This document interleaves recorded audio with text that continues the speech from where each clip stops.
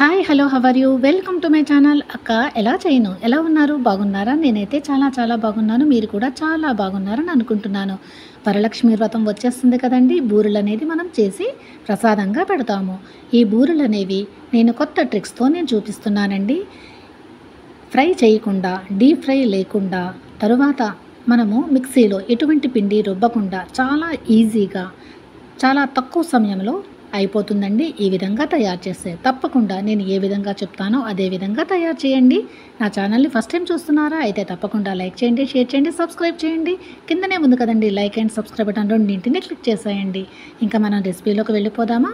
ఒక గిన్నెని తీసుకున్నానండి. దాంట్లో టూ కప్స్ అనేది రైస్ పౌడర్ వేస్తున్నాను. అంటే రెండు కప్పుల బియ్యం పిండిని వేయాలన్నమాట. రెండు కప్పుల బియ్యం పిండి అయితే ఒక కప్పు మైదాని వేయాలి. అంటే వన్ ఇస్ టు టూ అండి. ఒక కప్పు మైదా అయితే రెండు కప్పుల బియ్యం పిండి.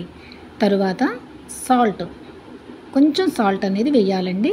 హాఫ్ స్పూన్ అనేది సాల్ట్ వేస్తున్నాను.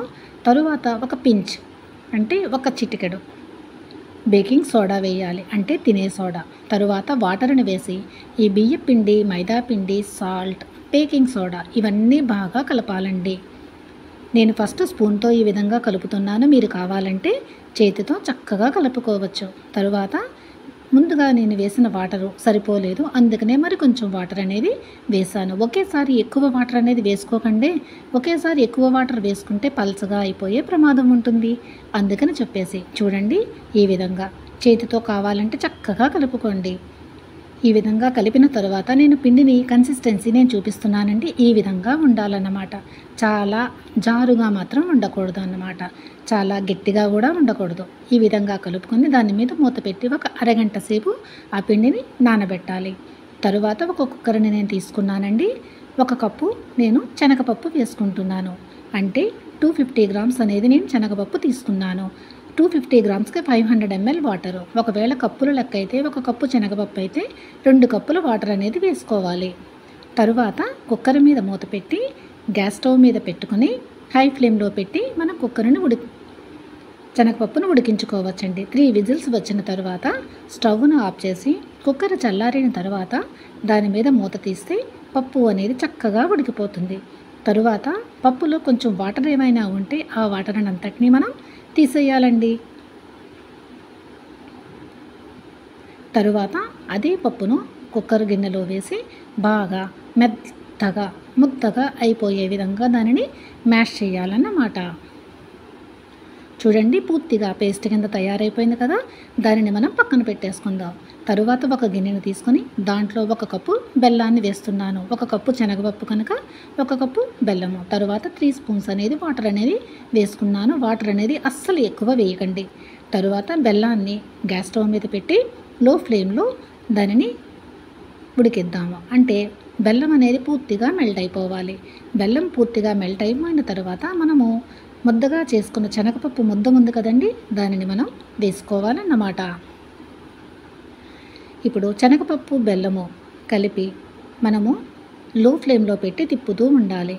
చూడండి కన్సిస్టెన్సీ అనేది చాలా పల్చగా అయిపోయింది కదా? మరేం పర్వాలేదు. అదే విధంగా తిప్పుతూ ఉంటూ ఉంటే అది చాలా గట్టిగా ముద్దగా తయారవుతుంది. చూడండి కొంచెం గట్టి పడుతుంది కదా? ఈ విధంగా తిప్పుతూ మనం ఉండాలన్నమాట. చూడండి చాలా గట్టిగా అయిపోయింది కదా? ఈ విధంగా గట్టిగా అయిపోయిన తర్వాత మనం గ్యాస్ స్టవ్ను ఆఫ్ చేసేసి చల్లార్చిన తర్వాత చూడండి ఈ విధంగా ముద్దగా అవుతుంది. మనం చేయి పెట్టి పిసుకుతున్నప్పుడు చేతికి ఎక్కడా అంటుకోవటం లేదు. ఇప్పుడు వీటిని చిన్న చిన్న బౌల్స్ కింద మనం చేసుకోవాలి. నేను చెప్పే కొత్త ట్రిక్కి నేను ఏం చేస్తున్నానంటే ఉండలని బాల్స్ అనేది చిన్న సైజు కాకుండా మీడియం సైజు కన్నా కొంచెం చిన్న సైజు అనేది నేను చేస్తున్నానండి. నా ఛానల్ని సబ్స్క్రైబ్ చేశారు కదా ప్లీజ్ సబ్స్క్రైబ్ చేయకపోతే సబ్స్క్రైబ్ మాత్రం చేయండి. నేను చేస్తున్న ఈ రెసిపీ మీకు నచ్చింది కదా నచ్చితే ప్లీజ్ లైక్ కూడా చేయండి. ఈ విధంగా ఉండలను చుట్టుకుని పక్కన పెట్టుకుందాం. తరువాత మెయిన్ నేను చెప్పాను కదండి డీప్ ఫ్రై చేయకుండా బూరెలు అనేది చేద్దామని చెప్పేసి. అప్పం ప్యాన్ తీసుకున్నానండి. అప్పం ప్యాన్ని నేను గ్యాస్ స్టవ్ మీద పెట్టి హై ఫ్లేమ్లో బాగా వేడెక్కించాను. వేడెక్కిన తరువాత లో ఫ్లేమ్లో పెట్టేసి ఒక్కొక్క హోల్లోని నేను ఒక స్పూన్ అనేది ఆయిల్ వేసాను. తరువాత మనం తయారు చేసి పెట్టుకున్న మైదా పిండి బియ్యపిండి మిశ్రమం ఉంది కదండి దానిని ఒక్కొక్క కన్నంలో ఒక్కొక్క స్పూన్ అనేది వేయండి. ఈ సమయంలో అప్పం ప్యాన్ అనేది లో ఫ్లేమ్లో మాత్రమే ఉండాలండి. హై ఫ్లేమ్లో అస్సలు పెట్టుకోకండి. బాగా వేడెక్కిపోయిందంటే ఒకవేళ కావాలంటే గ్యాస్ని ఆఫ్ చేసేయండి. ఆఫ్ చేసిన తర్వాత మనం తయారు చేసుకున్న పూర్ణ ముద్దలను ఒక్కొక్క దాంట్లో మనం ఈ విధంగా పెట్టాలి. చూడండి చాలా ఈజీగా తయారైపోతున్నాయి కదా బూరెలు అనేది తప్పకుండా ఈ ట్రిక్ని అప్లై చేసి బూరెలు మీరు చేయండి. చక్కగా బాగా వస్తాయి. తరువాత మళ్ళా మనం బియ్యపిండి ఉంది కదా? బియ్యపిండి మైదాపిండితో చేసుకున్న మిశ్రమం అనేది మళ్ళీ ఒక్కొక్క స్పూన్ అనేది పూర్ణం మీద వేస్తూ ఉండాలి. ఈ సమయంలో గ్యాస్ అనేది లో ఫ్లేమ్లో ఉంచుకోండి. కావాలంటే మీరు గ్యాస్ స్టవ్ని ఆఫ్ చేసేయండి. ఎందుకంటే మీరు గ్యాస్ స్టవ్ని ఆఫ్ చేయకపోయినా లేకపోతే లో ఫ్లేమ్లో పెట్టకపోయినా మాడిపోయే అవకాశం ఉంటుంది. అందుకని చెప్పేసండి. నేను యూజ్ చేస్తున్నది కాస్ట్ ఐరన్ ప్యాను. ఇది తొందరగా వేడెక్కిపోతుందండి. అందుకని మీ అప్పం ప్యాన్ ఎటువంటిదో చూసుకొని దాని ప్రక ప్రకారంగా మీరు మెయింటైన్ చేయండి.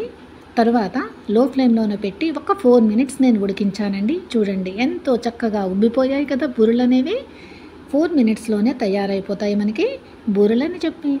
తరువాత దీనిని అన్నింటినీ టర్న్ చేసి దాని మీద మూత పెట్టి ఇంకొక ఫోర్ మినిట్స్ అనేది మనము చాలా లో ఫ్లేమ్లో పెట్టే ఉడికించుకోవాలి. చూడండి ఎంతో చక్కగా తయారైపోయాయి కదా. మనం అస్సలు నూనె అనేది వేయాలి ఒక్క స్పూన్ ఆయిల్తో.